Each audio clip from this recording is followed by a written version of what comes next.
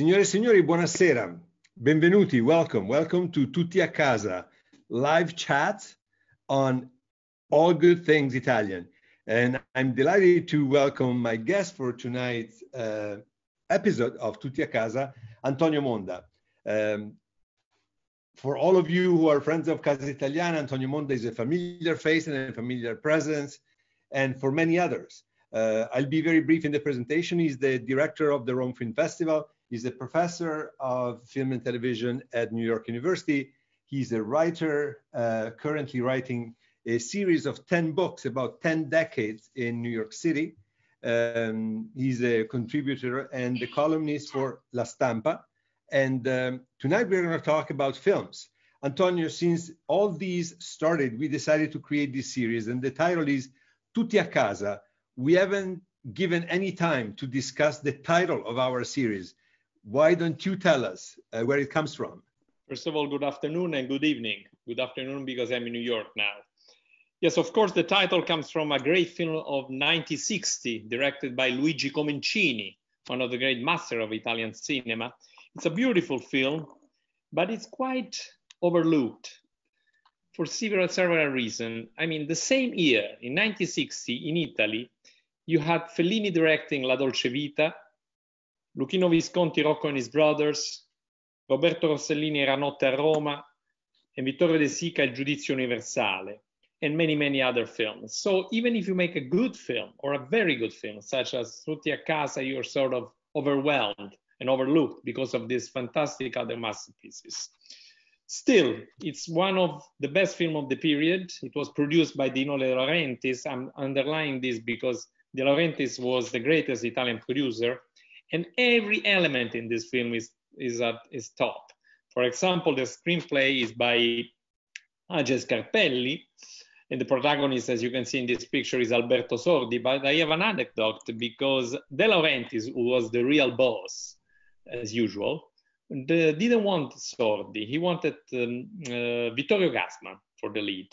And for the father, who was played by Eduardo De Filippo, he had in mind Totò for a series of complicated stories, they couldn't participate to the film. And at the end, and I think it was good, it's much better as a couple. Uh, Eduardo De Filippo and Alberto Sordi played in the film. But you have many other fantastic actors. For example, Serge Reggiani, we all remember him as a chansonnier, but he played many roles in Italian film. One, one of them is Ciccio Tumeo in The Leopard, Il Gattopardo. And there is Carla Gravina, Didi Perego, and many other great character actors it's again one of those great work of craft, if not work of art, but certainly something that we want to remember because it's still very timely. And it's one of these bittersweet comedies about history that makes you reflect on history and at the same time with a smile, with a bitter smile on your face. The film is actually available online for free legally, and you can look it up. I believe the site is Daily Motion and it's in two installments, uh, primo tempo, secondo tempo. So tutti a casa, that's what gives the title to our series. Of course, it, it has to do with the period in which we're living. Apparently, to, today, as of today, half of the world is a casa, is at home, is forced to stay home. Um, we put a capital C in our title because it also means that once this is all finished, we will all go back to our casa, to Casa Italiana Zerilli-Marimò at New York University. So thank you for uh, bringing us back to the memory of the film that gives the title to, uh, to our series. And the jingle is taken from the uh, beginning titles and was composed by Julian Sachs and the graphic by Francesco Mussini. Can I Antonio. just say something about the film? I have Please. another anecdote about the casting. Uh, a few months later, Dino Risi wanted to cast Alberto Sordi for Il Sorpasso. And since since he had just finished this film, he casted Vittorio Gassman. Uh, so many great films are made by chance, you know, many great performances. It would be inconceivable today to imagine uh, Tutti a Casa without Alberto Sordi or Il Sorpasso without Vittorio Gassman. And I want to add Absolutely. another line about Luigi Comencini. I define him uh, a craftsman, but I don't want to minimize him at all. He's one of the great Italian filmmakers. And together with this film, he made at least another extraordinary film, The Adventures of Pinocchio for television, for Rai television. That to me remains the best adaptation of Pinocchio for film or television of all time so far. I love uh, Antonio. the Garrone, I must admit, but but definitely that is. Uh... I'm partial to Comencini. Uh, Antonio, since these all started, you are uh, actually offering a great service to the community because you're providing from your Facebook page uh, one film a day suggestion. And, and you promise to arrive to a hundred films. And as I always say, you are somebody who has a knowledge not only of Italian cinema, but cinema in general that I, I probably have not seen any in anybody else. So today I'm asking you to make a one more effort. And from the 100 films that you are proposing uh, from your Facebook page, and let's hope that we don't have 100 years of isol- uh, 100 days of isolation ahead of us.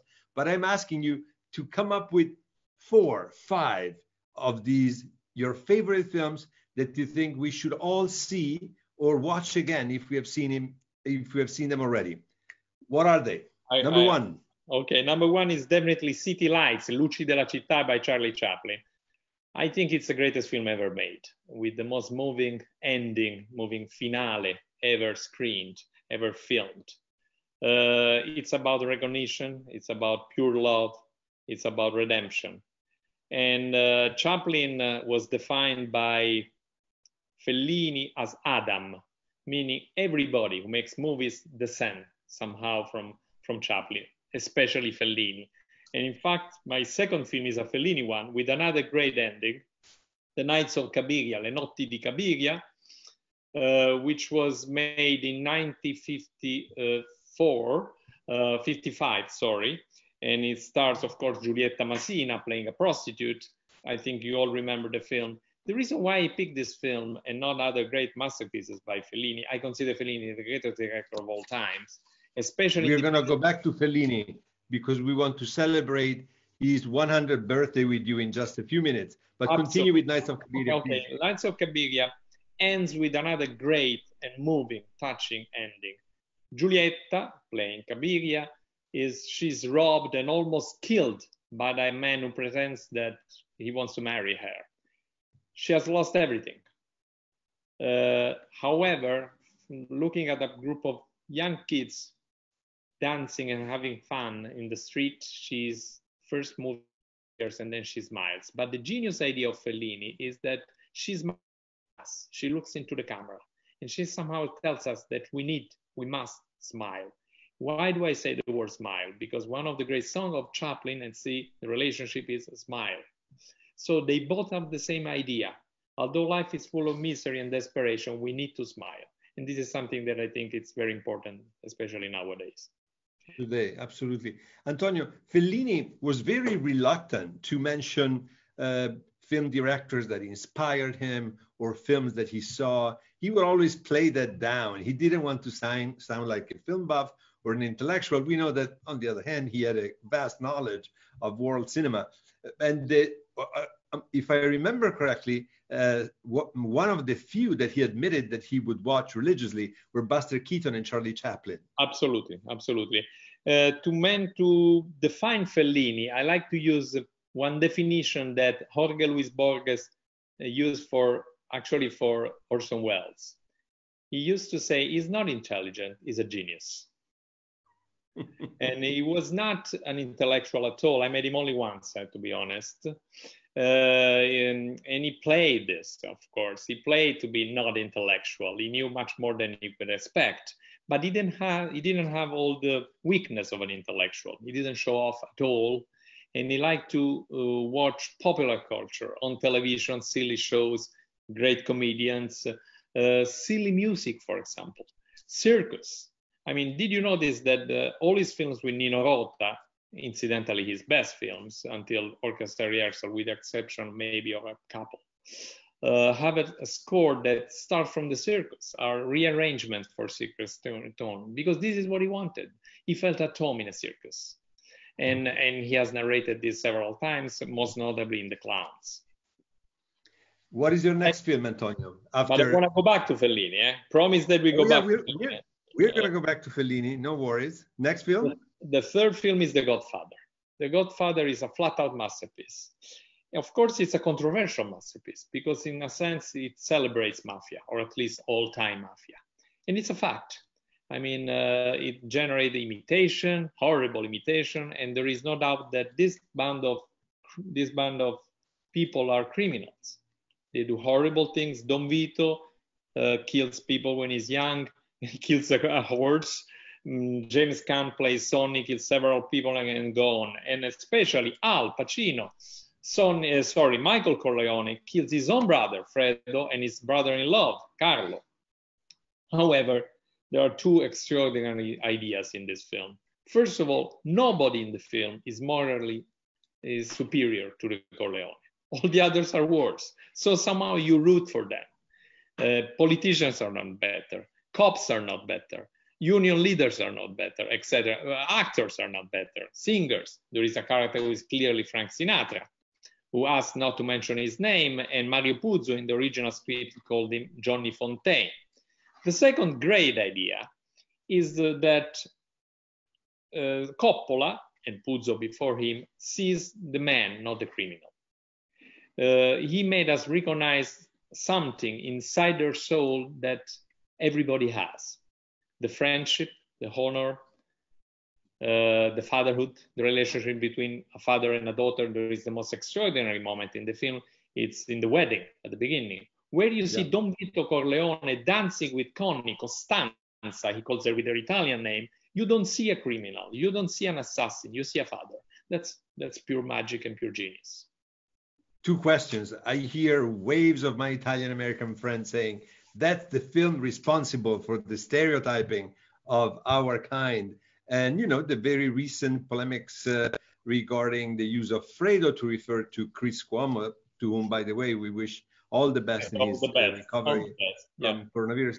But you know, it's such a, an important film in American culture that its characters became what we would call antonomasia. I mean, gave name to figures, to characters.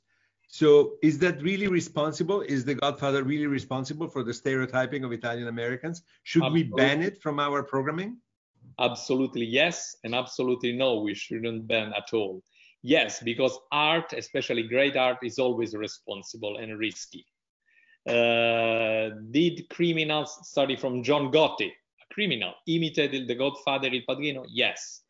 Does this make Il Padrino a lesser film? No, not at all.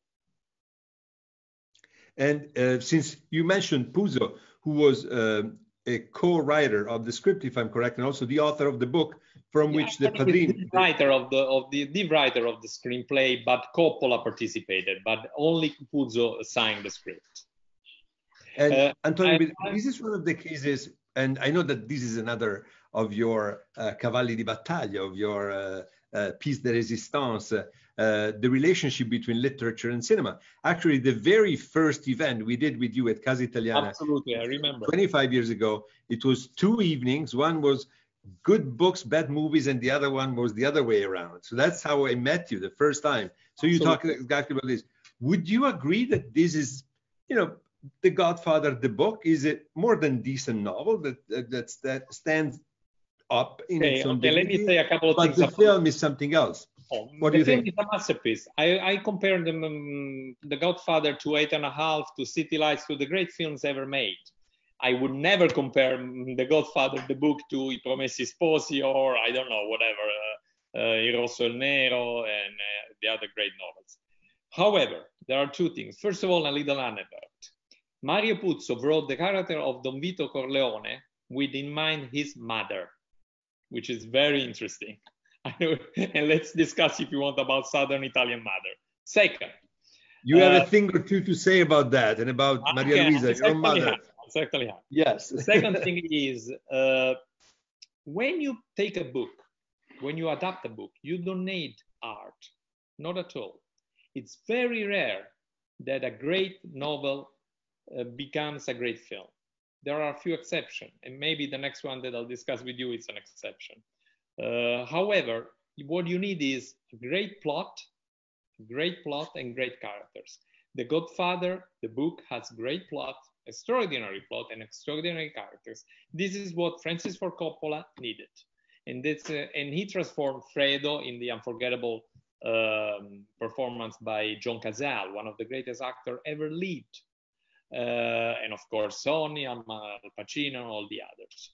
Um, Fredo was used recently, and it's really despicable to insult Chris Cuomo or whether you want to insult because Fredo, I, I, I believe everybody remembers Il Padrino, The Godfather. Fredo is the weak man, the weak, sometimes often often drunken in the, in the film. But mm-hmm. maybe the best definition of the film is given by Coppola himself. This is a story of a king who had three children. One has his goodness, uh, Fredo. One has his intelligence, Sonny. Uh, sorry, Michael. One has his strength, Sonny. It's a tragic. That, that sums it up perfectly. Film, Shakespearean film. Sorry. Antonio, one, one more thing about the, the Godfather. It's such a great film, uh, larger than life characters, and it really created an American epic that after the cowboy and Indians wars somehow gone. That was the previous one. And then you have this one with many followers of different levels. Of course, you have some of uh, Martin Scorsese's films that are based on the same topic that are legendary and that are wonderful films, and you have definitely second ranking. But would you agree that these film is also a, a founding stone, a, a, a cornerstone Absolutely for uh, the Godfather is an epic, and the gangster films, in particular this one, which is a, a spin, something different in the world of of of, of uh, gangster movies because it deals with family more than more than gangsterism itself. Uh, it's epic because it's young. Epic goes with youth. Uh, so Western are epic. He, uh, once again, Borges wrote that uh, American had America had his own epic with the Westerns, which is true. I mean, if you put together all the John Ford films, you have something not very different from the Odyssey of the Iliad, because you know you have the women, you have the heroes, you have the the the the, the, the ominous enemies who are racially, and because Ford was a great director but also racist, the Indians or uh, Native American. But let's not go there. Yes. It's another interesting but completely different conversation. If you want, I'm happy to do it. Oh, we're going to have many more conversations with you. You know that. If you ask me, for example, uh, is the John Ford opera, Magnus opera, Magna opera, sorry, dangerous? Yes. Is it a work of art? Yes. With a capital Y? Yes. Uh, 90% of his films portray Native American are horrible killers, which is racism. How do you want to call that? but still, they're work of art. Um, Antonio, what is the next film? I need to push you. in the next film, you know it, is The Leopard, Il Gattopardo. Uh, let me uh, anticipate one thing. Uh, you know, I am a huge boxing fan. Yes. Nobody, nobody. let me give a little snippet of how huge a boxing fan you are. In your American decalogue of, of books, and you are uh, writing number eight, if I remember correctly. Yeah, I'm writing the eight, number eight. You're writing number eight. In all the previous seven, in all the previous seven novels about New York in one decade, there is always an epic boxing match. And I'm not a boxing fan, but when I arrived to that point in that book, I always look for it. And there is always something I learn, not about box, but about something else. So for you, the box is also a way to talk about other kind of dynamics. But let's go back to box and the leopard because I really, I really don't see the connection there between I'll box and the leopard, and I want to know it. I'll tell you why.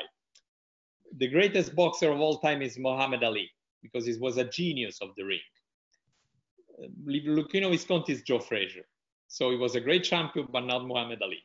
Visconti is a great, great filmmaker. But with this film, he reaches the height of Muhammad Ali. He reaches the height of, Visco- of Fellini, of Chaplin, of the very great minds.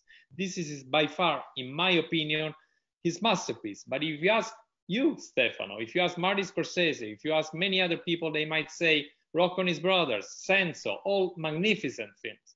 Why do I think that this film is, is his masterpiece?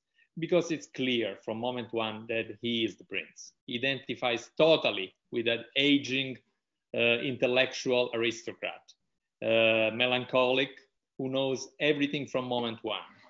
Why this film is fantastic? It's not a perfect film, different from Godfather, different from Nights of Cabiria, different from City Lights. Why is not perfect? The action scenes are not good. Let's face it. Visconti was not an action director, and all the battle scene at the beginning is very clumsy. Second, another weakness. All of a sudden appears a voiceover from nowhere, and it's clearly something that was added because they cut something. However, the beauty of the film is so solemn, so precious, so luxurious, and so intimate at the same time. It's a film about dying. It's a film about a dying class, a dying breed, uh, and everything is perfect. They chose uh, the, the, way he chose uh, Claudia Cardinale, who played the same the same year in the, the same weeks a role in Eight and a Half, in a completely different role. The idea of Burt Lancaster, which was not Visconti idea, but Goffredo Lombardo, the producer, and idea Visconti had in mind Laurence Olivier. And uh, his second choice was uh, Nikolai Cherkasov, the protagonist of Ivan or Ivan the Terrible. And luckily, Goffredo Lombardo had this genial idea of uh, casting uh, the extraordinary Burt Lancaster. At the beginning, they hated each other, but they ended up loving each other. And uh, probably Suso Cecchi D'Amico was the one who put them, you know, in the situa- in a situation to become friends. And of course, Alain and, Antonio, sorry for the interruption, but I remember there was an episode, probably in one of the um, documentaries that you curated for the Criterion Collection, that comes with the leopard. and there, of course, we have to uh, say that, that you know that there is nobody like our friends at Criterion to prepare Absolutely. these That's extra uh, rich uh, documents, documentaries, interviews that accompany these great classics when they re-release them. Okay. And I remember in one of them there was this story of uh, Visconti refusing to talk to Lancaster. Do you want to mention about that? Do you want to talk about that? Well, maybe it's not the same. Was... They had they had the same birthday, November 2nd, and they they were shooting in, in Palermo, and they had the same idea. They went to Renato Guttuso to order a, a painting for for the other. So Guttuso did two very similar paintings, one for Visconti and one for Burt Lancaster. I think that's the anecdote that you remember. And without no, I had something else in mind, but this is great. I didn't know this, so I'm learning, and it's great. No, what the one I had in mind is that they refused to, you know, uh, Visconti refused to talk to each other, to, to him directly, and he would ask his assistant director, tell Mr. Lancaster to do this and tell Mr. Lancaster to, to say that. And then he started taking a liking because Lancaster apparently was very humble and he accepted this awful treatment and he was already a very established film celebrity.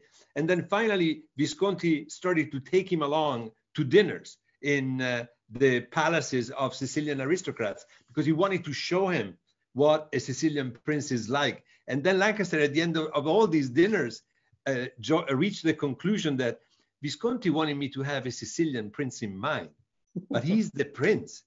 All I had to do was to imitate, imitate. him, yes. nobody else. Even if he was not Sicilian, he was a Milanese prince, but still.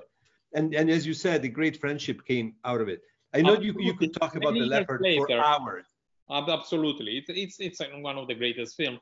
Uh, Twelve years later, when Visconti made uh, Conversation Piece, uh, Visconti had a stroke a few months before, and nobody would insure him. And Lancaster paid him paid him the insurance himself, which shows how great was the friendship between the two.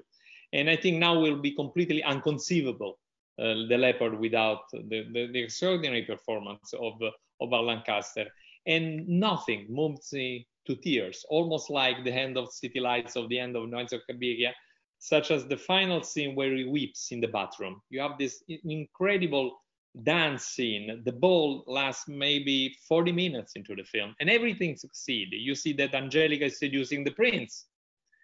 Uh, you see that uh, Tancredi is changing from revolutionary to reactionary. A lot of things happens during the dance scene. He understands everything, goes in the bathroom and cries. And that is one of the most moving scenes ever. And where he cries, I'm sure you remember, is a place full of urine pots. Visconti shows at the same time the luxury and the beauty of this incredible palace, uh, and at the same time the urine pots. This is what this film is about, actually. Thank you, Antonio. You mentioned, of course, great films. This is the creme de la creme of Antonio Monda's uh, favorite film. Yes, 120. Uh, I can go on forever. I, I, know, I know. You could go on, on and on and on. And I invite everybody to actually follow you on Facebook to get these suggestions daily. But um, give us one more film um, suggestion for these days of seclusion that would be more fun and uplifting. Do you have anything in mind? Let's pick a comedy. I will pick The Party, which in Italy is called Hollywood Party. It's one of the most hilarious films ever made, directed by Blake Edwards, and of course starring Peter Sellers, one of the greatest comedian ever and a wonderful actor. Uh, why do I like it? First of all, because it makes me, I mean, laugh every time I see it, including this scene. Even this picture makes me laugh. Also because uh, it's an intelligent comedy that says a lot, if not everything, about how silly, how empty, how stupid is that world. However, at the same time, Blake Edwards is part of it and loved this world. However, at the same time, this silly, empty, pompous world makes great films. It's a, such an intelligent film and also so funny. And uh, I think that Peter Sellers is one of the great underrated actors. If you consider he was nominated only once for an Oscar, and he didn't win for being there, the extraordinary film by Al Ashby based on a Jerzy Kosinski novel. So if you want a, a funny film, a comedy, my, go, my heart will go to The Party. And as, as, as everybody knows, this is a good time to see streaming films and a lot of uh, companies that offer this service are offering special discounts and some of them free months trials. So it's really a good time to stream to your heart's content.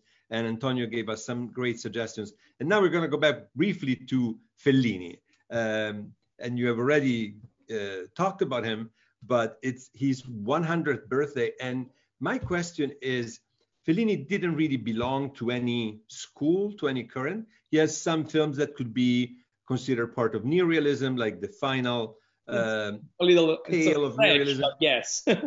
but he created his own thing. Um, and I just wanted to ask you, do you see any successor of Fellini? Do you see anybody who is making film in his style? No, and would are, it make sense? There are a few filmmakers who adore Fellini and somehow makes films in the, you know, la manière de Fellini, but nobody can be compared. Let me give you a few names. The first one is Woody Allen. Woody Allen made a few films that are, in terms of not of, of style or technique or vision, but in terms of content, very similar to Fellini's. If you see Celebration, it's not very different from La Dolce Vita. If you see Sweet and Lowdown, it's not very different from La Strada. I mean, I talk, I'm talking about the content. And of course, he adores uh, he adored Fellini. There is a funny anecdote in his uh, autobiography that just came out about him uh, calling Fellini and waking me up. and because he didn't realize the different, you know, time. Um, but it's extremely funny. And Fellini say, "Oh, I admire your films," and uh, Woody Allen say, "Maybe he was lying, but it was good enough for me. Even a lie from Fellini is good." so uh, the second name that comes to my mind is, of course, Terry Gilliam a very uneven filmmaker, but when he's good, he can be very good. I'm talking, I'm thinking of uh, Fisher King, La leggenda del re pescatore in Italia. The third name that comes to my mind is, of course, Julie Taymor, who clearly pays homage to Fellini in some of his uh, her films, such as Titus. And maybe, maybe I underline three times later, maybe something from Emir Kusturica, the great Serbian filmmaker. But uh, nobody, first of all, nobody can beat Fellini like the Muhammad Ali of the filmmakers. second, second, uh, uh, when you are a genius, you're not, you do not belong. It's, it's you're playing a different game. You're in another class. But Antonio, uh, somebody says that your friend, uh, the Academy Award winner for La Grande Bellezza, uh, Paolo Sorrentino, is somehow making true. films that paying homage to Fellini are also um, revamping his style or that are reminiscent or that they have very explicit quotes of Fellini. What do you think about that? Yes, I forgot to mention his name. Yes, definitely Paolo Sorrentino, especially uh, with La Grande Bellezza more than the other films. However, it's uh, a little bit superficial to say that La Grande Bellezza pays homage to La Dolce Vita only because they are about Rome. And Rome seemed to the eyes of uh, another counters. Uh, Fellini was, of course, from Rimini, center north of Italy, not far from your place. And Paolo Sorrentino. I'm in Cinecittà, Antonio, by the way, if you didn't notice. No, you're li- a liar like Fellini. and and Paolo Sorrentino is of course from Naples. Uh, because the reference, and I know as a fact because he told me uh, from for La Grande Bellezza is, of, is Roma, which is an extraordinary film.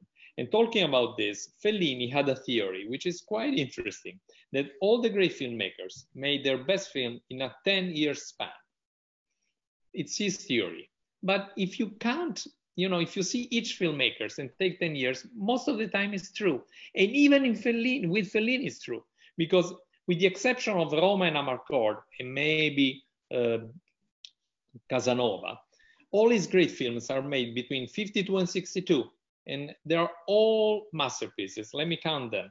52 Vitelloni, La Strada, Il Bidone, Le Notti di Cabiria, La Dolce Vita, and Eight and a Half. You cannot beat that. Of course, he made afterwards Amarcord. He made, uh, you know, extraordinary films, but probably his best moment is 52, 62, 10 years. I just have one little suggestion for our viewers, especially for the ones that are listening to us from Italy. Right now on Rai Play, that is, you know, is the sort of site on demand. It's free. You just sign up and you have access to the entire archive. There is a very funny documentary on the cut scenes of Amarcord. And for somebody like myself that knows the film by heart and recited with my cousins and with my brother every time we can, seeing those cut scenes was hysterical. Yeah. It's like giving being given an incredible gift that you didn't expect. There is one scene talking about racism where uh, they are at a bar and there is uh, Zio Lallo, that is uh, the uh, the uncle of the protagonist, that would be Fellini, um, that is at a bar and they're making horrible jokes about a foreigner. We, we, we are not going to disclose his nationality because I want people to go look it up. It's the cut scenes of Amarcord on Rai Play. Look them up. It's going to be your homework. But you and remember? Oh, sorry, go The finish. entire thing is hysterically funny and very well done. And then there are interviews that the two people that were actually on the set with Fellini of for Amarcord uh, edited, and then they went to ask him for what he thought about these cut scenes. So there is the comedy in the comedy in the comedy. So don't miss that on Rai Play. It's the cut scenes of Amarcord. Antonio, let's close on Fellini. I just want to leave you one last uh, line because I know how much you you love him and how much you uh, are indebted also to Fellini's uh, own um, ability. There are so many things you can say about his greatness, his poetry, his inventions, his vision, his humanism. But let me try to be simple, not intellectual, as Fellini would like. He's one of the few directors who makes you laugh and cry. He's so funny. He can be, he's one of the funniest filmmakers ever, but he can be so tragic. Think of Il Bidone, for example. And this is purely genius. Only Chaplin has the same, you know, greatness. Uh, can I say only one thing about, you mentioned the uncle in uh, Amarcord? He's played by Nando yes. Orfei, one of the Orfei family, the famous circus family in Italy, and um, and he's the only vile and not loved character in the film. He's the fascist, but he's a, even a vile and vulgar fascist. He's an opportunist. He's a, a coward. Uh, you see that but, Tita's father despises him totally. Yes, he hates him. Yeah, Antonio, we are getting close to the the end of our conversation definitely we're going to have you back. I want to thank all the people that are uh, watching us live. And uh, somebody was noticing your Pulcinella statue right behind you. And uh, I'm Neapolitan. I'm proud to have Pulcinella, but I'm also New Yorker. Look at this. This is a Tiffany lamp. I'm so proud of it. Okay, Antonio is Neapolitan. He was born and raised in Rome. His mother is from Calabria. Calabria. So... Now she will be upset. I'm half Neapolitan, half Calabrese, but I mentioned Napoli because you mentioned Pulcinella. Absolutely. 50 knowing, knowing, knowing Donna Maria Luisa, I had to mention Calabria because I would be in trouble. so I am already also... in trouble. Don't worry there is there is a little bit of uh, of everything from the south of Italy in Antonio, and I think that beautiful statue is a sort of homage to his his uh, southern Italian roots. Antonio, my last question for you is uh, concerns another um, of your uh, favorite topics. As one of the first things you did when you arrived in New York was a series of films of screenings uh, at MoMA, the Museum of Modern Arts uh, that also is um, enriched by a beautiful catalog called The Hidden God. And it, it was a series of films uh, in which I believe the tagline was in which God is the protagonist, even if you don't realize it. Yeah. Or something along God, those lines. God is the lead and you don't know it. God is the lead and you don't know it. We are approaching uh, Easter time in two ways. It's going to be Holy Week. Um, why don't you give us a suggestion of one of those films where there is a, a spiritual presence, a divine presence, and it's not necessarily made explicit uh, in the film, and yet it's there. And we are also going to use that as our closing and as our way to wish our listeners uh, happy Easter from you because they're going to see me again before. First of all, briefly, uh, I'm sure you know it that uh, Pope Francis' favorite film of all time is La Strada by Fellini, which is a deeply spiritual film and religious film. I would say it's a deeply Catholic film. But to answer your question, I would pick two films.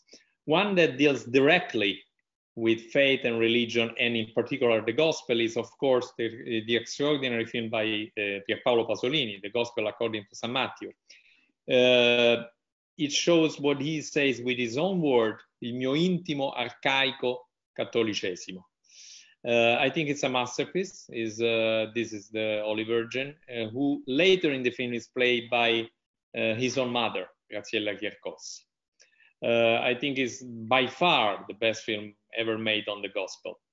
And um, but if you ask me a film where God is hidden, where religiosity or faith or spirituality is there but you don't see immediately, maybe the first film that comes to my mind is Close Encounters of the Third Kind by Steven Spielberg.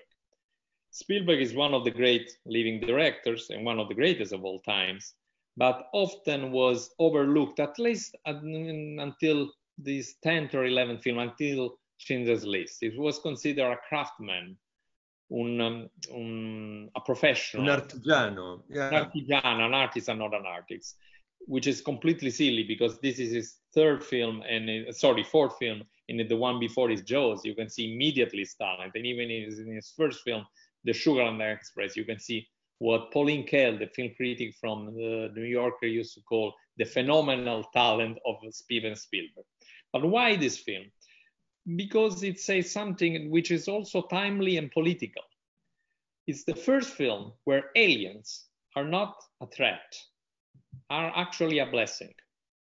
Aliens came from the sky to save us, to redeem us, not to threaten us, not to put us in danger. Second, uh, what the film says is if you're able to lose everything for this, you will be saved. It's not very different from the gospel. Are you ready to lose everything? And this is what Christ asked. And this is what the protagonist, played beautifully by Richard Dreyfuss, does. So it's a longing, the film, it's a prayer. What the, the character does is to pray and have faith, and something will happen. And it's interesting because there is also uh, another character played by Francois Truffaut. Uh, the name of the scientist is Lacombe, who is a scientist, who is not a man of faith, he's a man of science.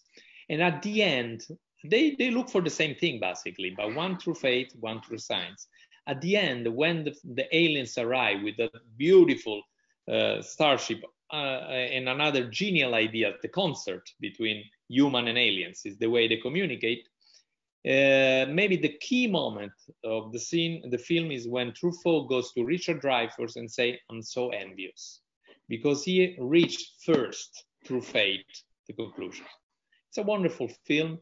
It's I wouldn't be afraid to call him a masterpiece. Call it a masterpiece, and it's a deeply, deeply spiritual film. And it's also very entertaining because it's a Spielberg film. And you asked me before about Fellini, you will make me laugh and cry. Um, Spielberg is an artist, but he's also a huge entertainer. Thank you very much, Antonio. Uh, this was great. Uh, I would like to invite everybody who listen in to this um, episode of Tutti a Casa. Please let your friends know what we are doing. Uh, we are trying to bring you great culture, great entertainment with people like Antonio Monda. Our next guest is gonna be Michael Moore, who has just completed a translation of The Betrothed. So it's the other Michael Moore. Um, I Promessi Sposi, the great masterpiece by Alessandro, Alessandro Manzoni, who has become all of a sudden very, very uh, relevant today because there are four chapters in the book Oh, yes, that talk about the plague of Milan of 1630. So basically, we are reliving today what Manzoni described in his masterpiece uh, of 1840. So that's going to happen this coming Wednesday, same time, same, pla- same place. Tutti a casa for now, while we wait to be tutti a casa at Casa Italiana. I just want to remind you also, follow Antonio's suggestion for films on his Facebook page. Uh, he's Also also about to Instagram. launch. I beg your Also- pardon? Instagram and Facebook. Instagram and Facebook.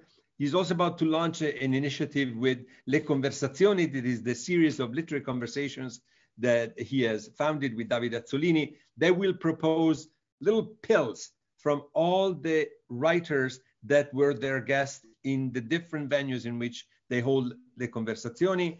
And of course, Central Park West on Rai News 24, Saturday and Sunday, and Visti da Vicino on La Stampa. Thank you again very much, Antonio. This was great. I had a lot of fun, and I'm sure our Me friends too. did. Thank you. Call me back. I will be there. We will. I'll see you all on Wednesday with Michael Moore for the Betrothed, I Promessi Sposi. Grazie mille. Buonanotte. Grazie a te.